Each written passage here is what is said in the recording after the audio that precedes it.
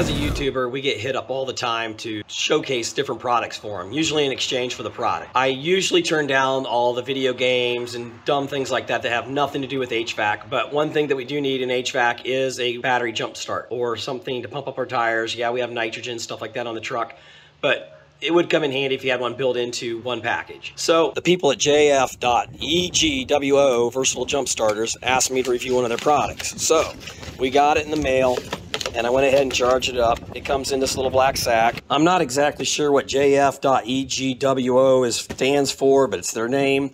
Either way, so it looks like a decent package. I said, guys, I will review it if it's good. I said, if it's not, I'll exploit it and make sure you guys are embarrassed online. So let's take a look and see whether or not this thing is worth a squat. So let's take a peek here. This is one of their small ones. This is only 2,000 amp. They got one that does 6,000 amps. They've got their jumper cables here that actually plug into it. It comes with a plug here. You can plug into a 120 volt outlet. Excuse my voice. I had a sinus infection, whatever. And here is a plug for a cigarette plug adapter so you can charge it on the fly. They do come with an extension cord here for the hose so you can pump, uh, pump up tires at a further distance. So you've got that one right there. And it looks like you can go ahead and screw that onto there. Now it does have some lights on the side of it here, so you know it never happens when it's a date. So when you turn it on here on the side, you hit the power button, it gives you a readout. It does only do it in 25% increments, so 25, 50, 75, and 100. It's got out here on the side. It'll also say in when it's in charging. We have a 5 volt 1 amp and a 5 volt 2.1 amp. And if you hold the button until the light comes on, it gives you a flashlight, which is pretty bright.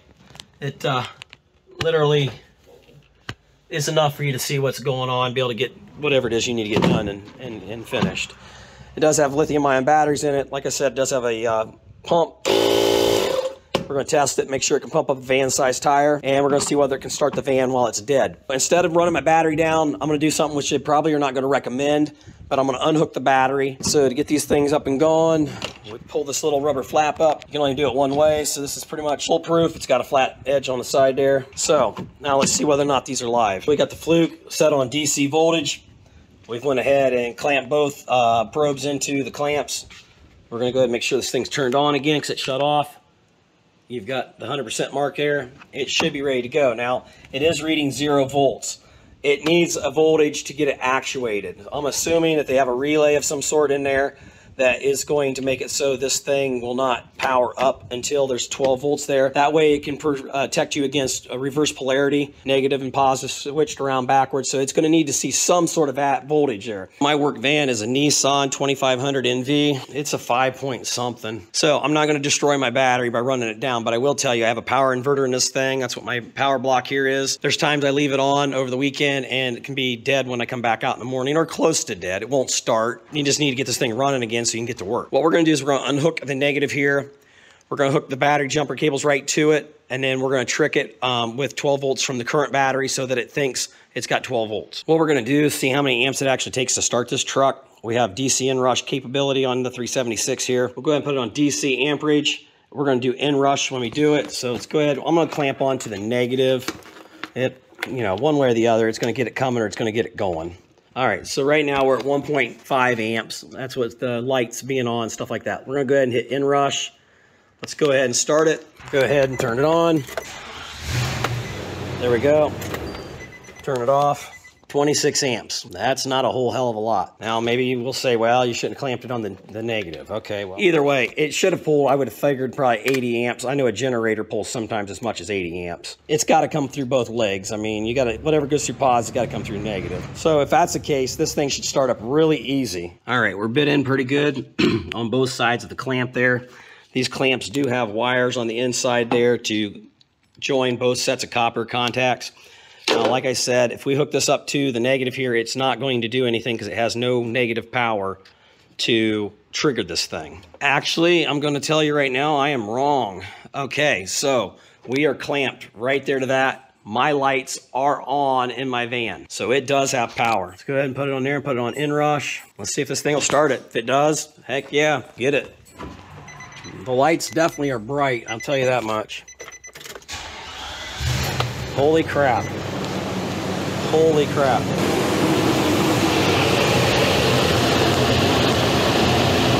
only pulled 31 amps. I don't know how the heck it did it, but it did it. That's amazing. We are not hooked up to the negative at all. These engines, either they got more efficient or something, but holy crap. Have never in a million years would have figured it would have been able to do that. Honestly, I was hoping, I was kind of expecting it to fall flat on its face. It did that no problem at all. Jumping a razor, jumping your lawnmower, whatever the case, you're going to be able to do it pump it up. I mean, this thing can fit on your motorcycle, you name it. As far as battery life, we're still at 100% right there. Wow, I'm, I'm impressed. Honestly, I'm impressed. I do not, I don't know about that being truly the 30 some amps. I mean, we could try it again on the positive. Now we could do inrush or we could just do max. Why don't we do just max? Okay, got it on max. I don't know if inrush will work with DC, but we'll go ahead and set it at that. Here we go. No problem at all. Yeah, see, it only got 2.9 that time, just not fast enough.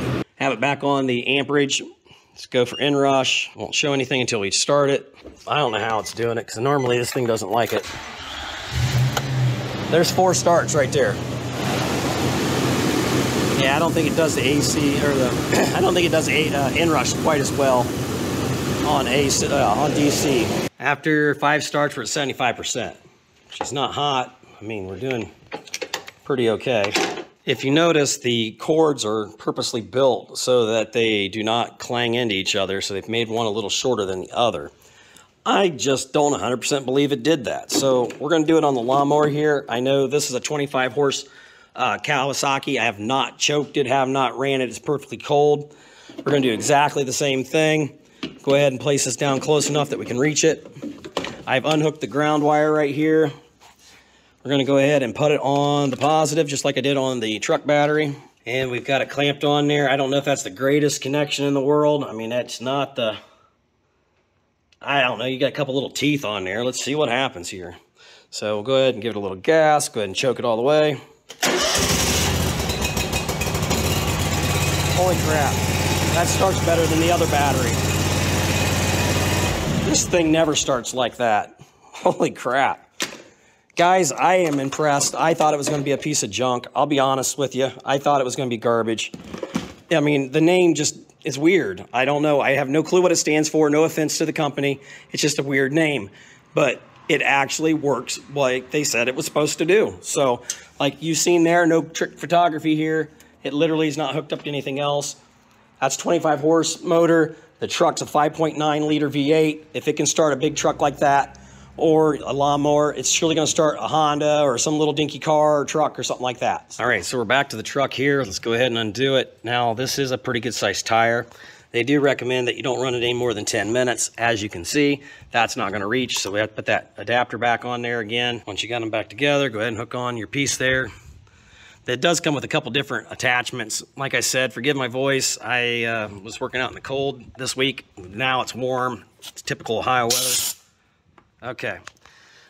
right now we have about 70 pounds of pressure on there. So you can get some jump packs from them that do not have an air compressor in it. So if you just wanted the battery pack only, they do have one of those. The link in the description will be down below. So if you guys want to get it, you can pick it up on Amazon. This thing's going for currently here, August of 2022 for 99 bucks. Let's go ahead and drain this air out a little bit. Now for a normal tire, you're not gonna have to go up to 75 pounds. Ran it down, you can see it's bulging out there. I didn't take it completely to zero. I don't know if it's really necessary. Right now we're at, looks like 40. There's 45 and 50. So we're at 40, we need to get it back up to 80. So that's 40 pounds. That's more pressure than what a normal tire is gonna need. Most are usually 32, 34. So let's go ahead and turn it on. Let's go ahead and start the watch. All right, start the stopwatch. There, go at it. So we got that turned on. Turned on the power. Just out of curiosity to see how loud it is. About 80 dB at about four foot. 96. 55 pounds at five minutes. All right, so we're right at nine minutes. Wow, she's warm. She's definitely warm. Lasering it, we're 143, 150-ish, 160 in one spot. So we're right now at about 55, 60, 65. We're at 67 pounds. More than enough to get the truck down the road. Uh, they say right in their literature, don't run it more than 10 minutes. It's not made for truck tires like this. This is a little bigger than normal. It don't feel like it's that hot, but it definitely ain't cool. Ooh, you can tell the battery's probably a little warm on the backside. Yeah, there we hit 171 in some spot, 188. Yeah, we're starting to get a little, a little toasty in there. But that's where the uh, venting can go on. That's probably right there where the, the, the pump is.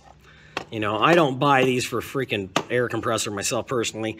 I buy them for uh, jump start the engine. I need to get going. We can get it pumped up down the road. Be perfect for RZR, something like that, off-roading. We went ahead and opened up the bag there. We do have these type of fittings inside there. So you've got a uh, basketball, football pump uh, adapter, something you can pump up a air mattress, and another, I don't know what that exact brass one there is. It looks like something for a smaller threaded size for whatever. That does come in the box with it, and it does come with a manual.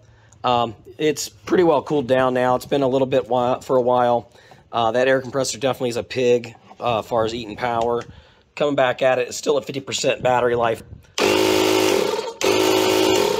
Still works. Right on the little tag here, it says maximum tire size to inflate is a 255 tire aspect ratio any, and wheel diameter not to exceed an R9, uh, R19, 19 inch rim. As far as the back side here, the model number is a CS02. Those are the specs on it. You guys can pause it and look at it. Either way, it seems like a heck of a good unit. Let's go ahead and take a quick look at the manual and wrap this up. Just plugged it back in.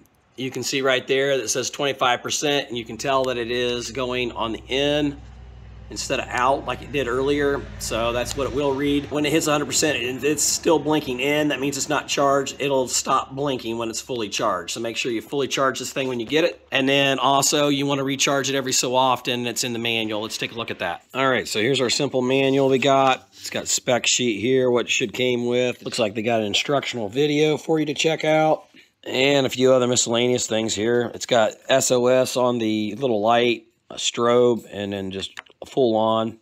Tells you how to turn it on as far as the strobe. Tells you all the things not to do. Customer questions, answers, things like that. So this should be enough to draw your interest into it if you guys are interested in picking one up. I appreciate you guys taking the time to check out the video. I thought it'd be something that people in the field would be interested in. Anybody that does camping, or just you know drives a vehicle or need a, a, jump starter and a air compressor. So anyhow, I think it's a worthy product. If you guys are interested in it, check out the description down below. I'll have a link to my Amazon account that will help support the channel. You'll still pay the same price. And until next time, guys, we'll catch you on the next one. Later.